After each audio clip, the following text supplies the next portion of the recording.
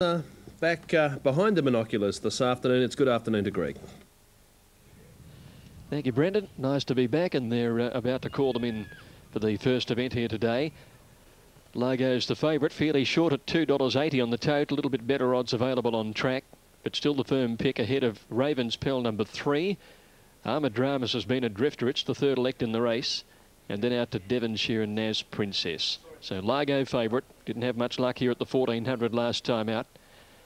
Moving into the gates, Devonshire ready. Um, Drama's about to come up to the inside. Does uh, go up from a class six into this race today. Has the claim for Matty Pumper. Overcast at the moment, but uh, it doesn't look like any rain's threatening. Just doesn't know how to at the moment, does it? Track in good condition, rails out seven and a half. We'll just see how that plays. It often favours on-pace horses when it's out that far. 4.35 the penetrometer reading. Here's Largo now coming up into the gates. He's won two races at Werribee and at Geelong and starts favourite in this open mares company here today. But she uh, looks something beaten last time out behind Powder Burn. The 1600 should suit her. Going up there, Naz Princess next to Gussie Godiva. We need Ravens Pell to move in and Olivia's Dream, and we'll have them right to go in the first. Nakalawi handicap. She won a Toorak handicap here way back in 1977. Olivia's Dream is ready. Ravens Pell to take the outside barrier. See how she can carry her Moonee Valley form across to Caulfield. She goes in and they're set to run. Ready for the first. All clear comes through and they're away in racing. Largo a little bit slow to move. She settles at the end with Olivia's Dream. And in the early stages, Naz Princess has bounced out quickly and goes up and heads towards the lead with Devonshire settling second on the rail and then Armour Dramas. Largo gets up on the fence to fourth and then Ravens Pell. Settling towards the end, Gussie Godiva and a length and a half Olivia's Dream. No pace at the 1200. Naz Princess controlled it early. Leads by about three quarters of a length. Armour Dramas boots up to get closer. Devonshire's a length and a half away third. Largo on the fence and then Ravens Pell. She's found herself out three wide here and about a half a length away Gussie Godiva. a half Gussie Godiva to Olivia's Dream. Coming down the side at the 1100 metre mark and it's Naz Princess but they're only cantering about a half in front of Armour Dramas, two and a half Largo, a length in Devonshire, a half Gussie Godiva, a length then to Ravens Pell, one and a half Olivia's Dream. At the 800 metre mark on the side, Naz Princess, three quarters Armour Dramas, two to Largo, a half Devonshire, a length and a half Gussie Godiva. Three quarters running. Dharma Drama's second. Largo follows the leader on the rail and then Devonshire. Gussie Godiva, Ravens Pell and Olivia's Dream last. Up to the turn, 500 to go, and he's released the threads a little on Naz Princess. She quickly put a length and a half on Armour Drama's Largo. Gussie Godiva in the pink colours travel well but held up, and then Devonshire and Ravens Pell. Naz Princess for home from Armour Dramas. Devonshire pulls out with Gussie Godiva and Largo the rail. Naz Princess in front at the 200, plenty of chances chasing her home. Gussie Godiva's coming home with Devonshire the outside. Naz Princess grabbed by Gussie Godiva in the middle. Largo getting through late. Gussie Godiva has the head clear Gussie Godiva wins it a neck to Largo, nose to Naz Princess, and then Devonshire. Armour Dramas was next, followed in by Ravens Pell and Olivia's Dream last of all. It's Gussie Godiva collecting the cash. The Michelle Payne riders come into paying $6.60, the former Kiwi galloper, and prepared by Brian Mayfield Smith, whose uh, amazing strike rate at Caulfield continues. Minor end of the issue, though, very interesting with uh, the likes of Naz Princess, uh, right in the thick of the action. So we'll await all placings to be confirmed. Um, so no second and third through as yet. But Gussie Godiva collecting the cash, Michelle Payne for Brian Mayfield Smith. Now, New Zealand, it's Doyle, which firms in all of the time in betting. Uh, in Australia, Sursum Quarter is out to $6.70. This is one of the stakes race highlights and we'll get those placings through from Caulfield as soon as they are available. Gussie Godiva winning though. First race on the program, a last Tycoon mare out of Sneech and was a New Zealand winner back in April, having its second run back this preparation. It's 4, 5, 6 and 2. 4, 5, 6 and 2 across the line. $1.90 for Largo and Naz Princess no third. Big run Largo, the runner-up. And first for New South Wales, $1,213.30. Let's go to New Zealand. Group fee. Here's the call. So they're all in the gates. Trentham Stakes ready to go. They're off from the 2400 metres. Wolf Creek just a touch slow off the inside. Green Street and Sursum Quarter and Reign Supreme have all begun quickly as two saxophone just in behind the speed. Doyle going across for cover. Wolf Creek the inside and Baloney's the last one. So Green Street found the front as he likes to do and he comes past a pretty good crowd here at Trentham. First day of the carnival, a neat length in front of Reign Supreme who's working up second. Wolf Creek is third on the inside and in the mare Sursum Quarter is the fourth, a length and a half Doyle inside of saxophone and a couple of lengths. Baloney's the last one. Green Street in front likes to lead them end to end. Andy puts a bit of a break on them here, galloping over towards the 1650 metres. He's got four lengths on Wolf Creek, and then we have the next is Reign Supreme, two to and the next is Doyle back on the inside from Saxophone. She's second to last, and Baloney biding his time. Tail in Charlie for Bruce Herd as they gallop up into the back of the track, nearing towards the 1400 metres in the smoke-free Trentham Stakes. And and it is Green Street the leader. Wolf Creek a clear second. Three lengths away, Reign Supreme. One and a half, Sursum Quarter. The next on the inside is Doyle for Michael Walker. Noel Harrison saxophone second to last. And Baloney is still the last one. Well, he hasn't got away with the big lead here, Green Street, and he goes over towards the 1,000 metres and leads still by one and a half lengths to Wolf Creek right on him. Still two or three lengths to Reign Supreme. And then Sursum Quarter the inside is Doyle from saxophone and Baloney's the last one. Robert Hannams dictating the tempo here on Green Street, and he brings them down the side of the course in front by two lengths again to Wolf Creek. Reign Supreme third now. Sursum Quarter is sent forward by Opie Bosson on the outside. And Doyle getting the nice run just behind these as they come to the home corner. Then Saxophone and Baloney's the last one. It's Green Street coming up towards the home corner. Still a length in front of Wolf Creek going after him. Sursum Quarter the outsides coming out and after them they go for home and Wolf Creek and goes up to Green Street and puts the head in front. Wolf Creek now to Green Street who's fighting on. Sursum Quarters trying to come out and after them with a good run and Doyle starting to let down as well. Wolf Creek on the inside. Green Street is fighting hard and now Sursum Quarter. She's starting to draw them in. Here comes Sursum Quarter after Wolf Creek who's kicking great guns and he'll win. Wolf Creek's got it. Wolf Creek grabbed the prize. Sursum Quarter second second, Green Street third, and then we had saxophone, Doyle, Reign Supreme, and Baloney. Well, the Andrew Calder ride proves a bit too strong in the run to the line for Sursum Quarter in the well-known Sir Patrick Hogan colours. So $14.90, $3.10, 240 Sursum Quarter, and Green Street in third position, 782. To the cheers uh, of the winning team. Now at Caulfield, uh, they have returned to the enclosure. Michelle Payne for Brian Mayfield Smith, four, five, six across the line, and first four, four, five, six, and two, twelve hundred and they've run one thirty-eight seventy-three. Big day of racing at Royal Randwick this afternoon, the William Inglis Classic for graduates of last year's Inglis Classic sale. Ratings on the first, and they look this way with Strasbourg and Grisham equal top rating ahead of Networks and from there we go to Hover. So one and five equal from two and number six.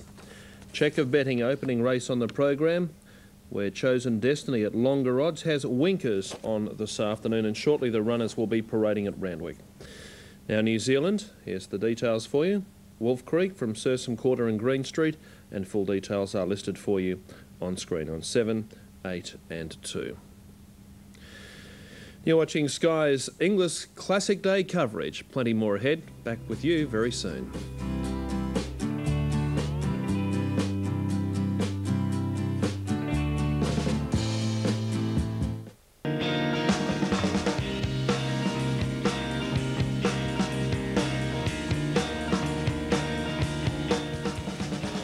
The betting duel between the top two continues to be enthralling with Strasbourg firming in and networks uh, likewise. So when you look at the different prices, Supertab Strasbourg well and truly in the red, networks uh, is in the black, and Grisham uh, is pretty much unchanged in betting across uh, the country, and the six comes in for a bit of support at longer odds.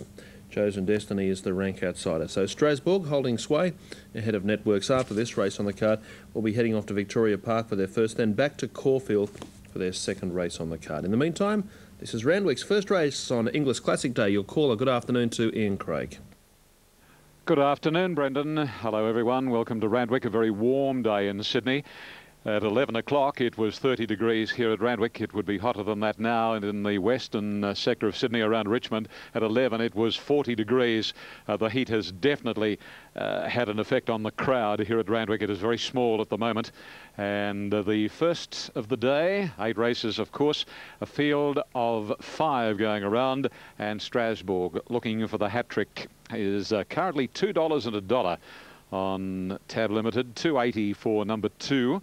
That's Networks, 190 the place. And number five, Grisham, is 440 and $2. Hover at 12 and 33 for the rank outsider, Chosen Destiny. Strasbourg has raced uh, with blinkers at his last two starts with happy results on both occasions. A win here over the distance of today's race and prior to that at Canterbury. And uh, stepping up a fraction in class today and certainly stepping up in weights from 54 and a half at his last appearance to 57. And Bart Cummings has a good opinion of Strasbourg, who's part owned by Arnold House. Arnold is a an umbrella manufacturer, and of course things are certainly on the on the slow side there at the moment. Plenty of stock, but rain will ultimately come, I'm sure, in uh, hopefully the not too distant future. And uh, he gets such a thrill out of his racehorses, Arnold, and certainly to no end with this bloke, Strasbourg. I saw him earlier in the day, and uh, he seemed to have that ring of confidence. Anyway, we'll shortly know as they're about to be positioned. Coming up to line is Grisham, trained by Gay Waterhouse, who on paper looks to have a very, very strong hand throughout the day. In goes the favourite. Only two to move up now, and Network's the second pick, and the rank outside a Chosen Destiny. So it's 210 number one, 270 number two, and 430 for number five. Networks, a little bit cantankerous. He's on his toes going around at the barrier. He ran a good race at his first run back from a long spell at Rose Hill on the 28th of December behind Spinning Com. That was his first start and only his uh, second race appearance. His debut was on the 20th of Jan last year. Anyway, he's in. Chosen Destiny is set and... Uh, a start is imminent in the first of eight races. They're off. And Hover was first to leave, commencing well Grisham and Chosen Destiny, the rank outsiders going up swiftly. Network second last and two and a half lengths Strasbourg. Working to the back over the crossing at the 1600 and Bernie Cooper goes to the lead on the rank outsider Chosen Destiny. Opens up about a length and three quarters on Hover. A length away third is Grisham, just over one then to Networks and about three further off Strasbourg. 1300 out down the back of the Randwick racecourse and Chosen Destiny leads the way. Hover second. Third is Grisham. Fourth Networks, a horse off the fence and two and a half to Strasbourg. Inside the 1200 they race now, going on towards the next corner. And Chosen Destiny shows the way. Hover second, Grisham third. And second last is Networks and Strasbourg another two lengths off. And he'd be about seven or eight from the leader, Chosen Destiny. And as they come onto the side now and past the 900 marker, Chosen Destiny leads the only filly in the small field. Hover by about a length and a quarter. Two lengths to Grisham, three quarters quarters to Networks and two to the quietly ridden Strasbourg. As they come down past the 700 marker, still no change in the order and Chosen Destiny at the 600 pole by a length and a half on a Hover. Grisham called upon, ditto ditto for Networks and Strasbourg another two lengths away and Beasley is probably going to get onto the back of Networks now as they come around the home corner. Yep, and as they straighten up now, Hover got past the roughy Chosen Destiny. Grisham racing up to Hover, length and a half after networks, and now Strasbourg is starting to put in the long strides. They reach the 200 marker now. Strasbourg is sprinting very quickly. He looks as though he's got them in his sights, and he's raced to the front. Networks is going with him now, though. Strasbourg Networks. Strasbourg and Networks reach the line. Strasbourg, I reckon, a nostril. Networks in a bobbing finish. Then came Grisham, followed home by Hover, and last to complete the course, the rank outsider Chosen Destiny. Photo called for in the first of the day. Strasbourg, number one, he looked as though he was going to uh, put paid to his rivals and win it, and win it very, very comfortably. But Network stuck to his guns on the inside. Strasbourg had an inclination to uh, hang in a little bit over the last 50 metres and the two of them were in a head bobbing drive down to the line and let's have a look here it looks like Strasbourg on the slow motion replay will just get there. And if it has, $2.10 and probably a dollar four for the place. But Networks, he stuck like glue to the favourite, and there will be only an inch in it when the judge has a look at the finish links. By Quest for Fame Networks, trained by John Hawkes, Strasbourg, of course, prepared by Bart Cummings, and he gets it, Strasbourg, number one, the winner. Number two is second, Networks Corey Brown. Number five is third, Grisham Chris Munce. And officially fourth was number six, Hover. So it is one, two, five, and six. The winner by Umatilla from Bella Ragazza has now notched up the hat trick. And uh, I thought he, he maybe the 57 was just starting to tell on him in the last little bit. Networks battled on well, and he's certainly a horse to follow. Second up from a lengthy spell. And Grisham battled on by Masque, Gay Waterhouse, hover fourth. And off to the Australian Guineas. It's already been reported for the Bart Cummings trained three-year-old by Umatilla. And there he is, the Cups King, who was trackside or courtside at the Australian Open Tennis. Now, Victoria Park's and stalls. First on the card, four, five, six. Good win by Gussie Godiva. They slowed the pace right down mid-race, and she's come from fifth the fence, held up slightly at the turn. It was an excellent win. Here's Kapuna coming in now, unbeaten in two runs at the track, sweated up on the way to the stalls. First up here, can produce a run fresh. There's the expat going in, the favourite. First start for Matthew Ellerton has Greg Childs on board today. Call Me Sid, last of the seven to link in. They're set to run. Jones Jester just took a dive at the gates. Settles a bit better now. They're ready and racing. The expat jumping well on the outside with Call Me Sid. Mr. Selby showing a little pace early and then Dan Zerani driving through near the inside. Then St. Christoph trying to hold the inside. Kapuna's got back towards the end of second last and Jones Jester on the fence, but the expat led. Dan Zerani second, Call Me Sid the outside, and then St. Christoph fourth the inside. Just had to check over heels a little bit there as Dan Zerani dropped ground. Then Mr. Selby two lengths further back in the field as Jones Jester inside Kapuna. Up towards the turn, the expat at the 600 led. Call Me Sid as second. On the rails, Dan Zerani from Mr. Selby showing plenty of pace. Then came St. Christoph and behind behind these Jones Jester and Kapuna. The expat led coming around the home turn. Call Me Sitter second. Moving up on the outside is Mr. Selby at any old odds to challenge as they corner and St. Christoph hooks away from the rails to make his run. Dan Zerani struggling. The expat joined by Call Me Sid, Mr. Selby, and St. Christoph is wider out at the 200. Call Me Sid in the middle, led narrowly from Mr. Selby, running a heck of a race. And then St. Christoph the outside and Jones Jester. Call Me Sid in front. Jones Jester flies through the rail, but Call Me Sid Call Me Sid from Jones Jester. Mr. Selby third, then St. Christoph Kapuna, the expat. Well, he spat the dummy out. He's run second last and Dan Zerani last. What an interesting race, up and down, back and forward. The expat rolled, 675 across the line. Reese McLeod winning in New Zealand. Number one is paying $2.40. That's Marufat. If you like a comparison, you're getting good overs across all tabs. Second elect in New Zealand is number 12, Shadowfax Babe, and it's paying $6 in New Zealand. So big overs for it, and the third pick in New Zealand in their betting is the three. Eagle Farm due in eight minutes. There's the top eight where Glass Slipper remains the firm elect and Exile is the second pick. To New Zealand, here's the team from trackside. A hat trick could be in the offing. Yeah, winning form's good form, isn't it? In the two wins, 13 from 13.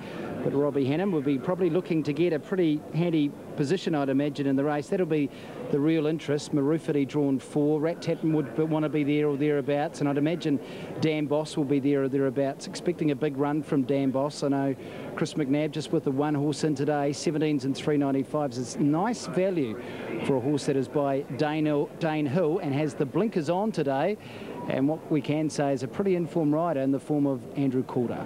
Shadowfax Babe, the mount of Opie Bosson Murray Baker trained Shadowfax Babe.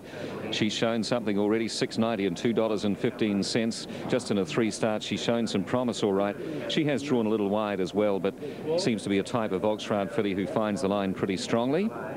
And uh, her last couple have been on firm tracks, which we have at Trentham today. There's Danette with Dick and Chris Bothwell about to go forward. She's 12 and $3.20. Raced in the Super Bonus Prelude at Ellerslie, placed behind Foxette. Pretty relaxed looking type. Maroofity though by remove Maroof at uh, 225 and a dollar and 30 cents. Some of the onlookers here at Trentham today. That's the 1200 metre barrier. And the Ford Wakeful Challenge Stakes field all lining up, the 13 of them. And that filly there will draw the outside gate of 13. Star K, that win at uh, Tauhera and Maiden Company, very nice. Cleared out and won. The lead up was okay behind Rutland Lass. And the initial start, her first start was at Trentham, right here at Trentham, back at the beginning of uh, of this of last month, December, and wasn't too far away behind on her debut. So one to come forward, and they'll be set for the Ford Wakeful Challenge Stakes at Group 2, courtesy of Radio Pacific. The call from Tony Lee. So they're all in the gates now for the running of the uh, Ford Wakeful Challenge Stakes, ladies and gentlemen. $100,000 at Group 2. We are ready. Gates are back and they're off and running. Rat-tat just a touch slow near the inside. Who let the dogs out back a little as well. Now beginning fast as Dan Boss, Perfect Syndicate onto the speed. And then we have a little wider out Popular Pastime. Nightbeat also with these with Starkey the inside of Magistrate Delecta. Maroofity's the next to Dan in the centre. And then we have uh, Danette back behind these runners. Then Shadowfax Babe who let the dogs out and a little distance to the local Rat is last, but Dan Boss is the leader in the Wakeful, running to the 650 metres. Perfect Syndicate and Popular Pastime share the pace with it. Right in behind these runners then is Stark A, as to Magistrate elected to Dan, is angling out across these runners and Maroofity's behind them as they go for home. And a little wider out then is Danette and Rutland Lass right down the outside. Dan Boss in front with a great kick. Dan Boss about two lengths in front. Now from from uh, running on. As two is Starke in the centre finding some and Danette is right down the outside. Dan Boss Maroofity's flying on the outside. And the favourite candid to the lead Maroofity the prize in the Wakeful. Oh second third and fourth very close. I don't know. We had Danette and Shadowfax Babe flying home. Dan Boss right with them on the inside and Starke nice and close as well. Then Magistrate Director who let the dogs out today and and less. And then we had uh, Perfect Syndicate, Nightbeat with these, and Popular Pastime, and a distance to Rat Tat off his game has been the last of them. Number Number one, Maroofity from the Mark Walker yard at Matamata, ridden by Lance O'Sullivan, collects the cash. So the favourite too good. That minor end of the issue, those very tricky. Dan Boss is on the inside. Outside is Danette and Shadowfax Babe. So the 4, the 12 and the 13 are all vying for second and third. Did so he double? That was at Canterbury. Yeah, yeah, it was a good experience and that. Um, 340 currently on the tote in New South Wales, a fraction under that in on-track operations, $1.80 for the place. Only other horse uh, in the market in the ring is number four, Ingress, and uh, she has met with significant support in the last couple of minutes. Ingress, Darwina, no harm done. Ronnie Stewart's quickly got Darwina under control. So that'll put a dent in outward displays quote. Ingress still not out on the uh, tote board. They're all there now. Racing this time, and uh, outward display got the best of the start. Commencing pretty well was Darwina, followed by Tutelage, and then eminently, a bit more than a length, the Nesnas on the inside. Moon Point followed closely by Jesterette, and prodded out very, very wide as January. And then now Nesnas is going to make a little ground through along the inside. Second last in the race is Only Glory, and in the east is last. They race past the 750, and Darwina narrowly now from outward display. Tutelage on on the inside of Eminently. Then January, Jesterette, followed by Nesnas Only Glory, Moonpoint in the east last. And of course, Ingress a late scratching, 131 Eastern Daylight Saving Time. It's Darwina for little Ronnie Stewart leading the favourite outward display three quarters as they round the corner. Length and a half to Eminently, followed by Tutelage and then Nesnas January, Jesterette. In the east, gone up on the fence and Only Glory wider out. Outward display got past Darwina eminently and Tutelage getting right up on the inside. Tutelage is finishing quickly. Huey Bowman drives it to outward display to head it off. It's Tutelage in front of half outward display. Tutelage just the leader. Tutelage beat outward display at Only Glory. Followed by January eminently a Moon Point in the east. Jester at Darwin and Nesnas dropped right out of it over the concluding stages. Ingress was taken out of the barrier at 131. Number five, Tutelage, written by Huey Bowman for Jack Denham and Mr. John Thompson by Secret Savings. Hello there. Yes, Greg. Oh, okay. Well, anyway, we got at 131. And what actually happened? Was she kicked at the barrier? Unvetted vice. Okay, fine. Thank you. Yes, the uh, that's the chairman assistant of stewards advising uh, of Ingress. And um, he wasn't actually sure of the reason for the scratching. Anyway, let's get back to uh, the placings. 5, 3, 12 and 11. Five.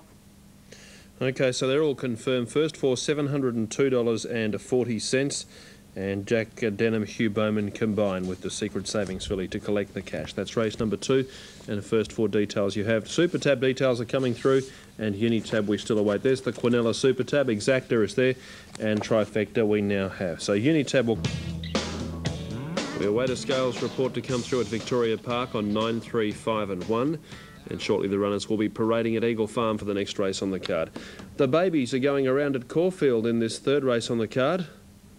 Uh, which way are we going to go here? Fortune Princess firms in. Let's head trackside to Greg.